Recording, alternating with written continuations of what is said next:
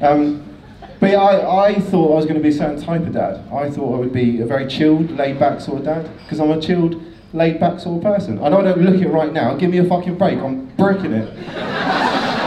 Generally speaking, I'm very laid back, right? I'm very, very calm, and I thought I'll probably draw the line at, you know, I won't let him smoke in the car, for example. But I'm not. I'm a different sort of dad. I'm a, I'm a very, uh, I don't know, I'm an overprotective dad. I know that I am, and I want to get it out of me, but it's, I don't know, it's difficult. Like, we were driving to his, his grandparents' house recently, and they live rural, rural, rurally, rural. What can I fucking say that? Rurally. they live in the bush.